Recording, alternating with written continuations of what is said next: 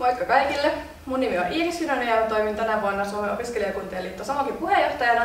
Ja mä oon tänään täällä juontamassa tätä Helgan ää, mielenterveysaiheesta paneelia.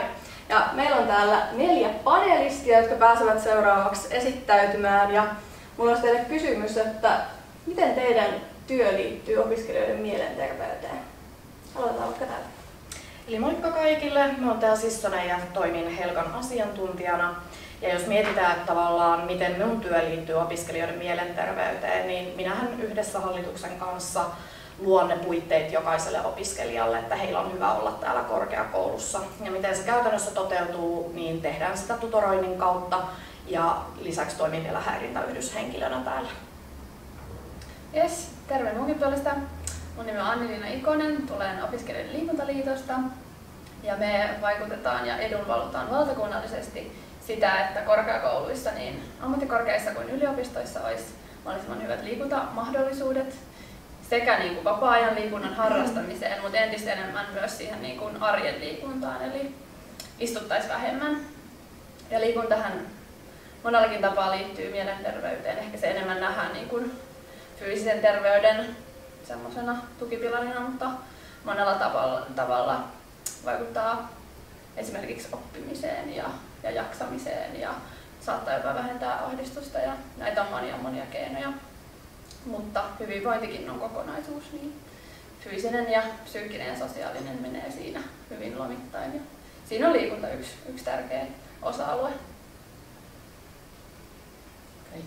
Moikka kaikille. Mä oon Kaisa Isohettua, Haakahelian Helsingin korkeakoulupappi.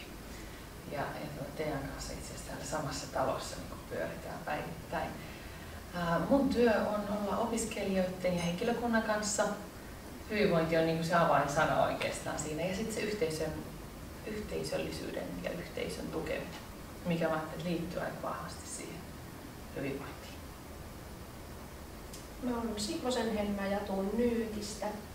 Vedän siellä yhdessä yhteisöksi hanketta tällä hetkellä, mutta Nyytihän edistää mielen hyvinvointia ja mielenterveysasioita korkeakouluopiskelijoiden kanssa. Eli tehdään ihan jonkun verran yhteistyötä, tai yhteistyötä suoraan korkeakoulujen kanssa, mutta sitten myös niin henkilöstön kuin opiskelijoiden kanssa. Eli se on kyllä ihan päivittäin mielessä se mielen hyvinvointi ja mielenterveys meillä yhdessä.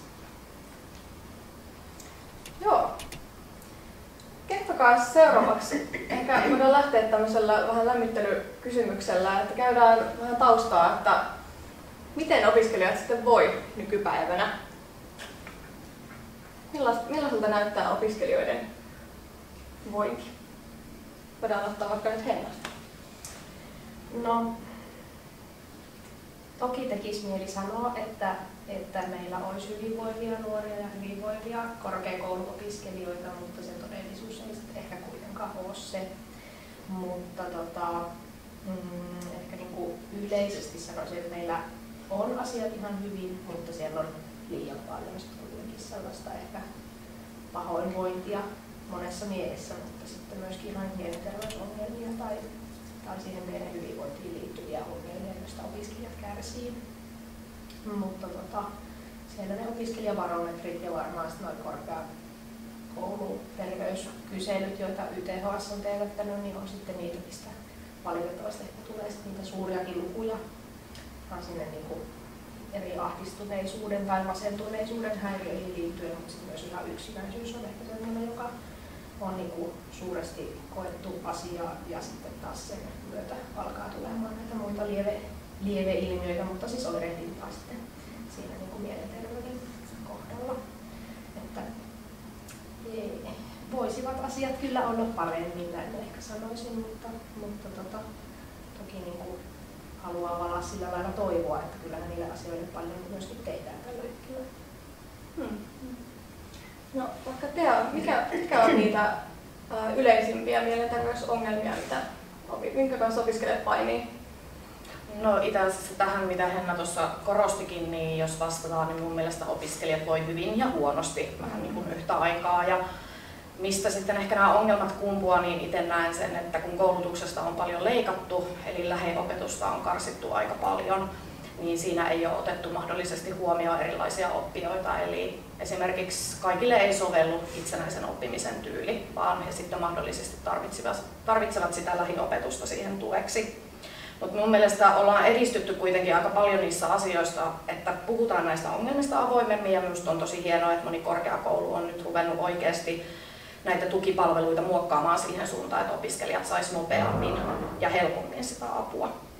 Mutta uskon kyllä, että tämmöiset yhteiskunnan luomat paineet, että pitää valmistua ajoissa, pitää opiskella itsenäisesti, korkeakouluissa on paljon opiskelijoita, on isoja korkeakouluja, niin ehkä semmoinen yhteisöllisyyden puutekin voi olla yksi, että opiskelijat sitten kokee näitä mielenterveyden ongelmia. Hmm. vaan. Joo, no mä nyt osaan ja pystyn parhaiten niin liikunnan näkökulmasta puhumaan.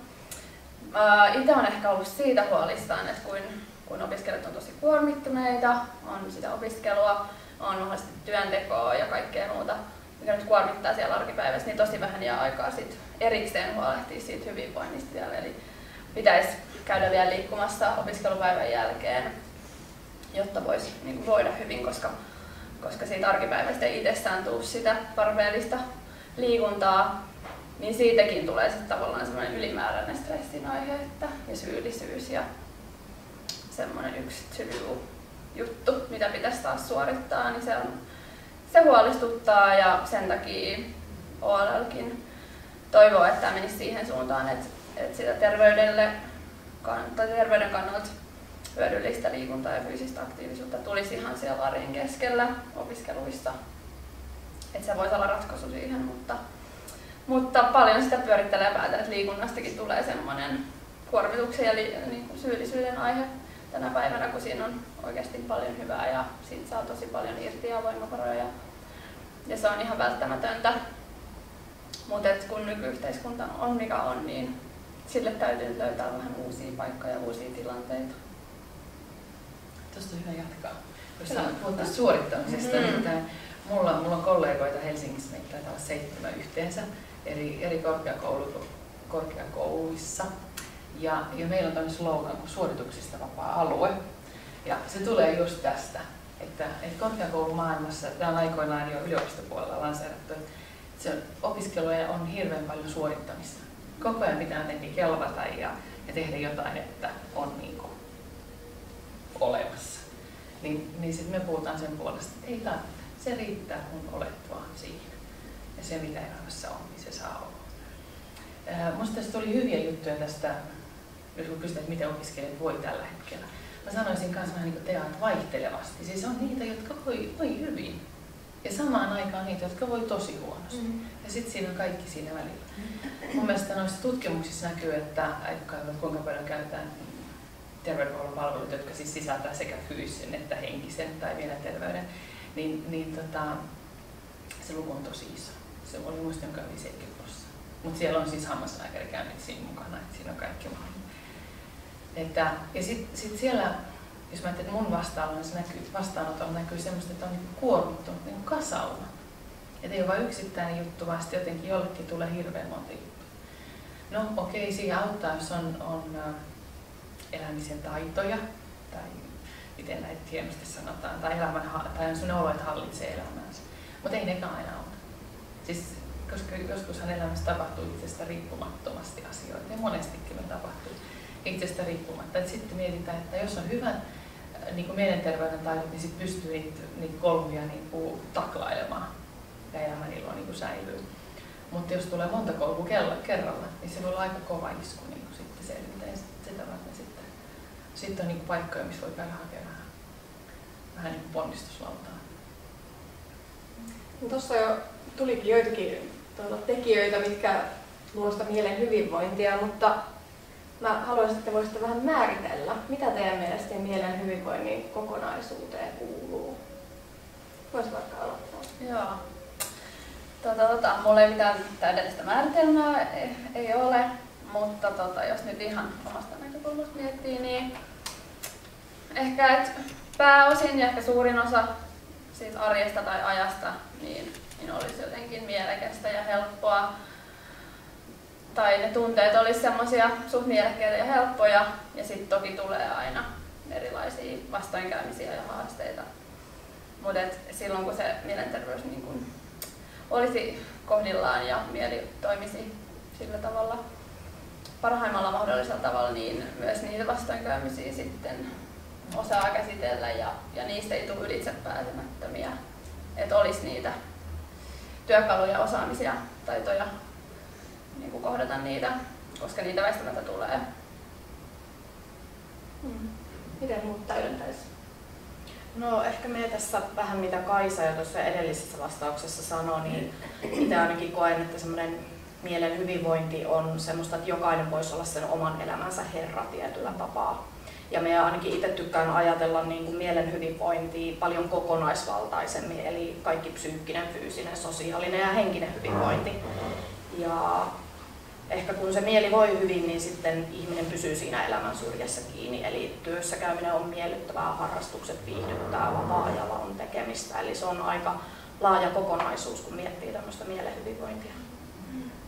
Ehkä siinä, jos ajateltaisiin sitä, että mielen hyvinvointi olisi samanlaista tai niin kuin verrattavissa vaikka meidän niin kuin fyysiseen hyvinvointiin, niin kyllä siinäkin se, että, että on ihan luonnollista, että välillä on niin kuin heikompia hetkiä tai ei voi fyysisesti vaikka yhtä hyvin tai on, ajatellaan, että sulla on vaikka nyt haava sormessa, se estää niin kuin jotakin tekemästä, mutta se ei rampauta niin kuin sinua kokonaan. Ja vähän sama siinä ehkä mielen hyvinvoinnissa, että, että meillä on kaikilla huonoja päiviä, meillä on hyviä päiviä, mutta kyky nousta sieltä niin kuin niistä huonoista päivistä tai jos ne elämäntilanteet on sellaiset, että sitten on itse voinut vaikuttaa siihen, mitä tapahtuu, mutta on kuitenkin ehkä kykyä siihen, kuinka päästä eteenpäin tai jotenkin sellaista niin kuin, just tätä niin kuin herruutta siihen ehkä niin kuin omaan vointiin, niin musta tuntuu, että se rakentuu sieltä. Ja just, että siinä on niin kuin, se seisoo ehkä tosi monella jalalla ja kun yksi vähän häviää alta, niin se ei kuitenkaan niin kuin horjuta sitä koko pakkaa, mutta se, että siellä ei saisi tapahtua sitten niin kuin monella osa-alueella ehkä sellaisia niin kuin heilumisia, jotta se hyvinvointi olisi sellainen, mitä itse myöskin pystyisi kehittämään tai mihin olisi luottamusta. Että se mitä sanoit äsken siitä, että paljon kuitenkin opiskelijaelämästä ja niin kuin opiskelijan mielen hyvinvoinnista, niin se on aika poikkeuksellinen elämäntilanne siinä mielessä, miten paljon vaikka opintoja aloittava korkeakouluopiskelija kokee muutoksia ja vastaavaa tilannetta ei välttämättä myöhemmin elämässä edes tule, että sulla on niin kuin kaikki uutta ja pitäisi olla sitä hallinnan tunnetta. Niin se on kyllä niin kuin myös sellainen paikka ehkä sille mielelle, että, että jos siellä on voimavaroja ja muita keinoja, niin sitten asiat varmaan lähtee rullaamaan hyvin. Niin, että se, siis hyvä kun nostit tämän, tämän elämän kohdan, koska minusta se on tietynlainen taitekohta. Mm. Siinä niin alkaa muopautumaan jotenkin, jos nyt ajatellaan klassisesti silleen, että on tullut siis niin kuin, niin kuin toiselta asteelta, lukiosta tai ammattikoulusta ja sitten lähtee niin korkeakoulumaailmaan, niin, niin siinä, siinä ollaan niin aikuisuuden kynnyksellä. Moni on lähtenyt pois kotoa vasta siinä kohtaa ja sitten ruvetaan miettimään parisuhdetta ja että voisiko perhe ja kenen kanssa ja miten tämä nyt meni ja minkälainen perhe ja niin mikä minusta tuli isona ja haluatko että onko tämä oikea opiskelupaikka edes tai opiskelu niin kuin jotenkin polku. Että siinä on hirveän monta sellaista kohtaa, että et ei ihme, jos se niin kuin haastaa myöskin niin kuin mieltä. Sitten jos on niin kuin, jos ajattelee, että se mielenterveys on vahva, niin vain, että siitä huolimatta, että elämässä on niitä haasteita, niin, niin osaa jotenkin iloita ja nauttia siitä elämästä. Että ei, niin kuin, ei siitä haavasta, niin vaan, että mm. okei, okay, nyt meni koko ihminen, mm. vaan että hei, mä oon elossa ja mm. niin kuin, tää paranee. Mm. Että et osaa suhteuttaa mm. ja, ja niin kuin nähdä vielä, että mikä, että heitä on paljon hyvää, vaikka tämä onkin tässä. Niin, seuraavaksi äh, tämmöinen pieni kyllä vai ei tyyppinen kysymys. Nosta käsi pystyyn, jos koet, että yhteiskunta tukee riittävästi opiskelijoita mielen hyvinvoinnissa ja jaksamisessa. Mm, vähän arvelinkin ehkä tällaisia vastauksia. Tota, minkä takia ette nostanut kättä? Kerro vaikka sä ensin. Hmm. No tota, mä ajattelin, että opiskeluhan on, on niin opiskelijan työ. Ja, ja, ja tota, työstä kuuluu saada myös vapaata. Mä itse asiassa, kun mä mietin tätä, mä oon ollut apurahatutkijana joskus. Ja siihen annetaan niin könttäsumma rahaa, joka pitäisi jakaa niin kaikkien kuukausien kesken. Ja muistan, kun tämä liittyy siis väitöskirjamaailmaan vähän toinen, niin voitte siis poistaa se, jos ei tunnu tähän sopivalta. Mutta tota, mä siellä tajusin, kun mä kyselin sitä, että mä olin ollut jo palkkatöissä ja tajusin, että tämä on niin kuin loma. Sitten väitöskirjamaailmassa, että hei, miten tämä loma? Sitten mulle kerrottiin, että hei, sä voit jakaa sen niin, että sulla on yksi kuukausi lomaa ja sä nostat sitä apurahaa. Mutta en mä silloin, kun mä tein perusopinto, siis niin kuin opintotuella, ei mulla käynyt mielessäkään, että se nyt olisi mahdollista, koska ei siellä ole sitä ajatusta, että, että tota, voisit nostaa opintotukea, jos et siis suorita opintopisteitä. Et, et meillä on jotenkin tämä tämmöinen niin ajatusmaailma, että et opiskellessa, niin okei, silloin opiskellaan, mutta sitten meillä on ajatus, että kesällä tehdään töitä. Joskus ennen ehkä opinnot oli sille helpompia, että sinne ei tultu töihin, mutta kyllä mä nyt ajattelin, että nyt tullaan. Ja se on yksi osa mun sitä jaksamiskysymystä, siis se, että missä kohtaa on se lepo, jos aina, aina tehdään niin kuin töitä, olisi se sitten opiskelua tai, tai palkkatyö. Tämä on yksi kohta, missä yhteiskunta voisi niin ruveta tunnustamaan sitä opiskelua ja sen merkitystä. Sehän on panos, yhteiskunnan panos myöskin tulevaisuuteen. Okei, se on sille yksilölle panos, mutta se on panos myöskin yhteiskunnalle. Siinähän on tulevaisuuden toivot. Ja missä kunnossa ne on ää, valmistuttuaan, niin, niin vaikuttaa siihen, että minkälaisia päätöksiä nämä tulevat päättäjät sitten päättää. Oli kyse sitten sit mistä tahansa. Se liittyy myös hyvinvointiin myöskin. Tai sitten ne, ne on ne tulevat lastenkasvattajat, mm. minkälaisia lapsia kasvatetaan. Että onko elämä juuri vain tämä suorittamista vai onko nyt jollain muullakin merkitystä? Niin kuin näin, mutta tähän voisi vastata monta vuotta. Mutta ehkä muut sanoo nyt välillä, mä jatkan sitten. Niin, mä ajattelin kanssa jotenkin, tai siis, että siinä on niin kuin, että toki, että yhteiskunta tarjoaa niin kuin, mielenterveyspalveluita, jos ajatellaan nyt silleen, niin sitä kautta niin kuin mielen terveyttä tai mielen hyvinvointia, että tukeeko yhteiskunta sitä, mutta just se mitä äskenkin niin kuin tultiin ehkä siihen johtopäätökseen, miten monitahoinen asia se on ja ylipäätään hyvinvointi ja sitten se, että, että tota, onko meillä sitten niin kuin ne kaikki rakenteet siinä sen opiskelijan ympärillä kuitenkaan ehkä ihan sitä niin opiskelijaa varten, että, että sitten kuitenkin just tulojen niukkuus tai, tai sitten ehkä tämä viime kesäinenkin keskustelu siitä, että, että onko se niin kuin loma tai lepo ansaittua, mutta se, että jos semmoista niin kuin palautumisjaksoa ei tule, niin kyllä mä näkisin, että siellä ei ole semmoista niin kuin jotenkin ihan täyttä rakennetta sille hyvinvoinnin tukemiselle. Mä oon nähnyt, siis että talous näkyy myös sillä tavalla, että, mm. että opiskelija on saanut äh, lääkäriltä, tai niin, voisi mennä terapiaan. Mutta sitten tulee niin taloudelliset kysymykset esteeksi. Ja sitten niin viivytellään sitä, hän, hän käy mun luona ja keskustellaan ja viivytellään sitä, että hän haluaisi mennä, mutta kun ei taloudellisesti pysty. Ja sitten hän voi vaan ajatella, että jos olisi siis niin kuin, diagnoosi on tehty ja todettu, että olisi terapian tarve ja, ja se viivättyy, niin sehän paraneminen myöskin viivästyy. Et se on niin kuin, ongelmat vaan pahenee Et mitä tässä voisi jotenkin ymmärtää sit sitä, että on, on eri asia työssä käyvä lähteä terapiaa hakemaan kuin, kuin opiskelija. Ja just näistä syistä, mitä todettiin, että opiskeluvaihe on se erityinen vaihe, jossa niin kuin se, se mieli myllertää muutenkin. Mm. Niin se kysymys myös terapian päästä voi olla just siinä kohtaa hyvin tärkeä. Joo, mä olen samaa mieltä tuosta taloudellisesta kysymyksestä, että joillekin se voi olla iso kynnys sitten hakeutua niiden palveluiden äärelle, jos ne on niin kuin maksullisia ja tiedetään se, että opiskelijoiden tuet ei ole ehkä parhaimmat mahdolliset tällä hetkellä. Itse haluaisin ainakin ajatella, että niin pinnalla kuin nämä asiat nyt on, niin toivon, että korkeakoulut ottaisiin entistä enemmän niin kuin koppia näihin tukipalveluihin ja palkattaisiin oikeasti lisää henkilökuntaa, koska sitten tulee semmoinen positiivinen oravan pyörä niin sanotusti, että kun opiskelijat saa tukea sieltä tukipalveluista, niin se edesauttaa sitä, että he valmistuvat ehkä ajoissa. Niin näki se, että korkeakouluilla on tässä aika suuri asema niin kuin tukea sieltä käsin jo tätä opiskelijan hyvinvointia. Et ja toinen, mitä olen niin aika paljon pohtinut itse, niin tavallaan se hoitoketju on tosi sekava, eli se ensimmäinen askel, mihin se opiskelija lähtee, niin välttämättä ei tiedetä, mihin kannattaisi ottaa yhteyttä. Että varsinkin isoissa kaupungeissa tuppaa olemaan se ongelma, että on kolmannen sektorin tarjoajia, niin sitä valikoimaa tavallaan on, mutta ei tiedetä minne pitäisi hakeutua. Tuo on yksi, mitä käydään läpi. Se, jos mä ajattelen niin hyvinvointitoimijoita niin kuin laajasti, niin me yritetään niin porukkoina siitä niin kuin saa heille puhua. Että mm. kaikki saisi just tämän tiedon, miten nämä portaat menee, mistä lähdetään hakemaan. Kyllä. Mutta kyllä se kuva, että me käydään sitä läpi, niin Me ei ole siis se, se tieto ei ole vielä olemassa. Mm. Joo, mitäs mä itse mietiskelin. Vähän ehkä tulikin jo tuossa, että sä puhuit niistä rakenteista ja vaikka taloudellisesta tilanteesta, että, että on tämmöisiä, on tosi paljon niitä tekijöitä ja pitäisi nähdä ne niin kuin ennaltaehkäisevinä, että mitä voidaan tehdä niin kuin ennen kuin ne asiat kriisiytyy ja tehdä niistä olosuhteista semmoisia hyviä ja jos ihmiset voi hyvin, niin ehkä just kääntää katsetta niin kuin aika paljon niihinkin. Me paljon niin kuin liikuntaa perustellaan just niillä ennaltaehkäisevillä tekijöillä.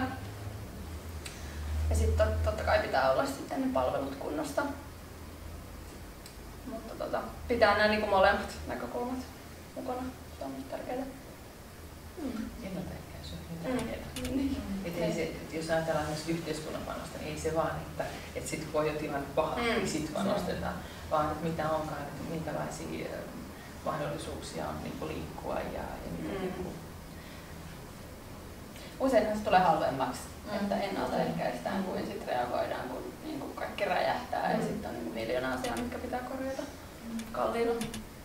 No monestihan niin korkeakoulun palvelut onkin niitä ennaltaehkäiseviä mm. jonka jälkeen sitten ehkä on tarvetta sinne hoidon, hoidon piiriin hakeutumisella. Eli ylioppilaiden terveydenhoitosäätiö on lainamassa YTHS ammattikorkeakouluopiskelijoille vuoden 2021 alusta, mikä on tietysti todella hieno, hieno juttu ja edistää yhdenvertaisia palveluita sitten kaikille korkeakouluopiskelijoille, niin samalla kuitenkin se tarkoittaa, että siellä puolella palvelut vähenee.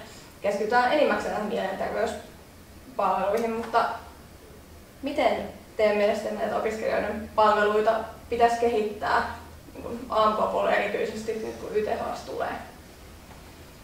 No itse ainakin koen sen, että, että resurssit olisi turvattava, vaikka YTHS tuleekin. Me vähän pelkään, että nyt kun tätä on niin pitkään ajettu tavallaan ammattikorkeakouluopiskelijoille, ja olen tosi iloinen, että nyt tämä YTHS vihdoinkin laajenee, ja me vähän pelkään, että sitten se muu yhteiskunta niin kuin ajattelee, että no nyt nämä on heitetty tonne, niin aivan sama, että heillä on se paikka, jonne hakeutua. Mun mielestä se on tosi väärä asenne ajatella näin, koska ei välttämättä ne opiskelijat löydä edes sinne YTHSn pariinkaan. Ja on edelleenkin niitä kolmannen sektorin palveluita, joita voi hyödyntää. Mutta kokisin itse avainasemassa sen, että kuitenkin ne resurssit pitäisi olla saatavilla ja niiden pitäisi olla riittäviä.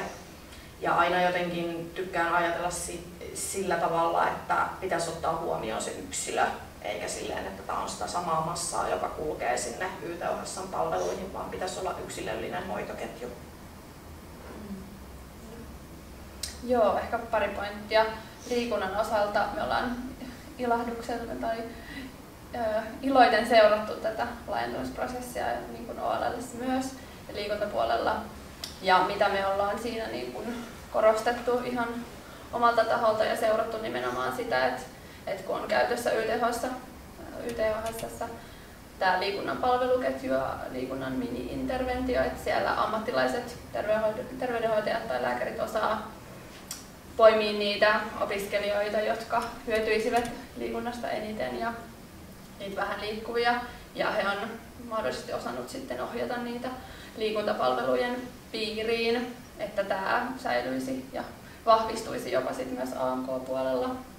Ja toisaalta sitten se, että, että myös siellä liikuntapuolella on se taho, joka vastaanottaa niitä opiskelijoita, että molemmat nämä päät, päät on kunnossa ja vähän veikkaan, että molemmat kyllä vaatii, vaatii vahvistusta valtakunnallisesti. Että, että on se pää, joka seuloo ne oikeat, oikeat tyypit sinne liikuntapalveluihin, jotka eniten hyötyisi siitä. Ja sitten, että siellä on laadukasta ja yksilöllistä vaikka liikuntaneuvontaa, niin sillä saadaan hyviä tuloksia ihan todistetusti, jos siellä on resursseja molempiin. Mm. YTHS yksi hyvä juttu on ollut se, että se on erikoistunut juuri, juuri opiskelijoiden niin kuin, ikäluokkaan ja siihen opiskelijoiden niin kuin, tarpeisiin ja haasteisiin. Ja ehkä niin kuin, iso kohta on mielenterveyskysymyksissä tämä. Ja se on minusta tosi hyvä, jos se sama jatkuu, että sinne panostetaan. Mutta samaan aikaan sitten hampaat pitää edelleen niin kuin, hoitaa ja, ja tämmöiset asiat hoitaa. Et jos ne ei hoidu YTHS kautta, niin sitten pitää olla selkeä, että missä ne hoituu. Ne on ihan yhtä lailla tärkeitä. Tai, tai sitten olisi sitten ehkäisyneuvontaa tai missä tahansa kyse. Niin, niin tota, jos, jos YTHS ei hoida, niin sitten se pitää olla selkeästi, että mistä, koska ne on yhtä tärkeitä opiskelijoita. Sinne niin kuin, kuitenkin just niin matalan kynnyksen niin kuin avun saantiin niin kuin, täytyisi pitää sekin mielessä. Ää, niin kuin sanoit just se, että ei tavallaan nyt tuudittauduta siihen, että nyt meillä on sitten tämä YTHS ja niin tämä hoito on taattu, että toki siinä on, on just kaikki nämä hyvät puolet, mitä on lueteltu, mutta, mutta tota, ehkä se, että korkeakoulu ei sitten myöskään jäisi välttämättä sen asian kanssa siihen tilaan, että, että nyt meillä on YTHS ja, ja sitten näihin, näihin asioihin niin ei tarvitse sen kummemmin enää, enää puuttua, että on jonkun verran kuullut eri tämmöisissä tota, laajemmissa kyselyissä on noussut esiin sellainen piirre, että ää, opiskelijat kokee, että he ei, niin kuin, ää, ei tiedä, että missä kohtaa voisivat kertoa vaikka oman elämän niin kuin kuormittamista asioista, jotka selkeästi heijastuu sitten jo niin kuin opiskeluun. Ja jos ajatellaan sitä ikään kuin työn näkökulmaa, niin silloinhan sitä opintosuoritetta ei myöskään lähde syntymään, jos se niin kuin, tekeminen on tosi vaivalloista. Ja että ja sitten opiskelija voi kokea, että niin kuin, ainut ratkaisu on sit siinä kohtaa, että kun hän sai jonkinlaisen diagnoosin vaikka sitten sieltä YTHSltä ja ikään kuin siitä pääsee niin kuin, jatkamaan eteenpäin. Ja sitten se niin kuin, jollain lailla se niin kuin, ongelma lähtee ratkeamaan siitä, vaikka oikeastaan ehkä se ongelma ei olisi päässyt syntymään niin pitkälle, jos tätä asiaa olisi voitu purkaa jo vaikka sit siellä niin kuin, jonkun opetushenkilöstön kanssa tai, tai niillä muilla tukipalveluilla. Et siinä ehkä näkyy se, että, että niin kuin meillä on nyt hyvä, hyvä tilanne, mutta että se vaatii kuitenkin myöskin tavallaan sitä matalan kynnyksen palvelun takaamista. Et se on ehkä sellainen mielessä pidettävä juttu. Ja sitten YTHSn tekemissä tutkimuksissa mm. on tullut näkyväksi, että eihän, jos, jos ajatellaan sitä, että jos opiskelijan mieli niin kuin, kuormittuu, niin se ei johdu vain niin ulkopuolisista tekijöistä, vaan yhtä lailla esimerkiksi se, että opintoohjaus on heikkoa. Niin se näkyy siinä, että, että, että opinnot ei etene ja sitten se voi vaikuttaa niin kuin siihen omaan jaksamiseen luonnollisesti. Niin se, että se opintojen ohjaus on asia, sehän on korkeakouluvasta. Mm-hmm. Yhtä lailla se yhteisöllisyys, mistä teilläkin puhuu, että sitä täällä luodaan, niin, niin se on meidän kaikkien, siis mun mielestä niin korkeakoulussa, ketä me ollaan, niin se on meidän kaikkien vastuulla, me voidaan täällä semmoista yhteisöä, jossa on hyvä olla, jonne on hyvä tulla ja, ja ne kokee niin kuuluvansa. Ne kaikki tukee sitä mielenterveyttä. Et ei, ei voida, mielenterveyttä ei voi ulkoistaa YTHS mm-hmm. tai ylipäätään terveyttä. Siellä se hoituu. No hei, kertokaa, mistä opiskelija voi sitten saada apua? Mitkä tahot tarjoaa tukea ja apua opiskelijoille? Kertokaa ihan vapaasti, heitelkää. No, sanois mitä hankkeet löytyy. Mm. Kerro vaan. se on niin kuin, sitten voi lähteä laajentamaan. Mm. Äh, siis täällä on kaupungin terveydenhoitajat jokaisella kampuksella. Äh, Helsingissä löytyy myös kaupungin psykiatrisen sairaanhoitaja. Äh, sitten siinä, siinä käytävällä, missä mulla on tämä basilustyöhuone, niin siinä on myös äh, Hakaheidän opintopsykologi ja Hakaheidän psykiatrinen sairaanhoitaja. Mm-hmm. Me voi jatkaa tuosta Kaisan. Kaisa luetteli tämän olennaisimman. Me ollaan Helkassa koottu nämä tiedot myös meidän nettisivuille, eli sieltä löytyy ihan tämmöinen mistä saa apua nettisivuosio, niin siellä ollaan myös kerrottu näistä palveluista ja sitten toki niin kun opiskelijoilla on täällä Haakaheliassa toi mainetti, niin sieltä löytyy myös nämä yhteystiedot. Ja itse haluan korostaa varsinkin tämän hyvinvoinnin vuoden teeman aikana edelleenkin näitä kolmannen sektorin palveluita, eli esimerkiksi Helsinki Missio ja Suomen mielenterveysseura tarjoaa apua. Suomen mielenterveysseurallahan on kriisipuhelin, jonne voi soittaa. Niin se on mun mielestä oikein hyvä palvelu. Ja siellä tarjotaan sitä palvelua vielä eri kielilläkin, että sekin on otettu siinä huomioon. Ja Helia, mutta ainakin mä tiedän, kyllä me kaikki puhutaan monen kielen. Omalla käytöllä voisin sanoa, että ihan varmasti englantia ja suomi onnistuu. Mm. Ihan varmasti myös terveydenhoitajia. Mm. Mm. Ja minä liikuntaihmisenä muistutan teitä Sonen liikuntapalveluista, että vielä maininnut, mutta loistava ennaltaehkäisevä palvelu. Tota, te ehkä paremmin osaatte, en tiedä miten, miten te tunnette Sonen palveluja, mutta mutta mitä itse tiedän, niin siellähän on paljon ryhmäliikuntaa ja on kuntosalia ja, ja kursseja.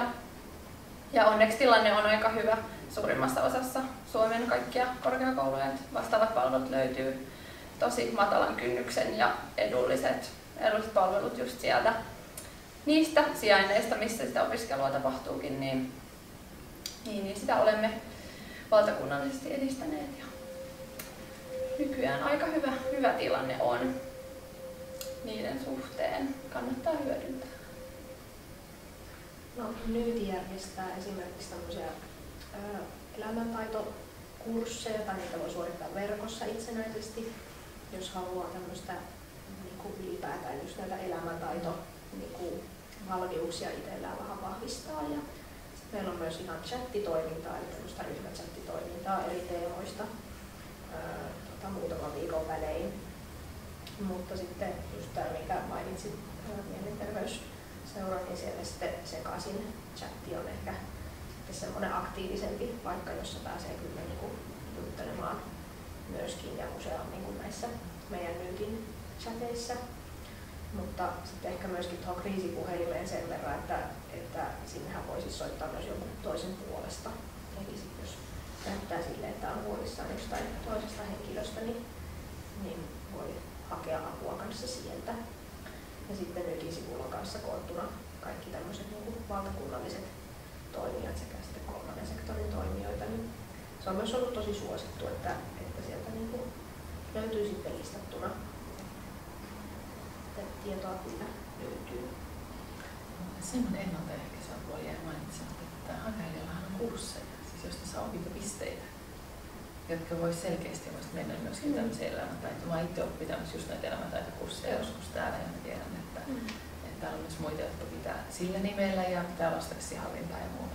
Ja myös englanniksi, että niitä kannattaa lukea sit sieltä, niin kuin, mitä on tarjolla minäkin vuonna.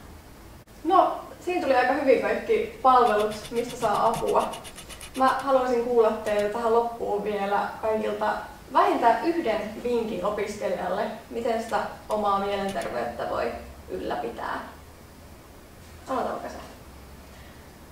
Mm, me tykkään puhua aina armollisuudesta, joten toivoisin, että kaikki muistaisi olla armollisia itsellensä, että ei tarvitse suorittaa. Ja tässä omassakin työssä niin haluan myös antaa tämmöisen vinkin, että toivottavasti opiskelijat muistaa, että heillä on kuitenkin aina, joka tukee ja auttaa selvittämään asioita, että ikinä ei tarvi olla yksin.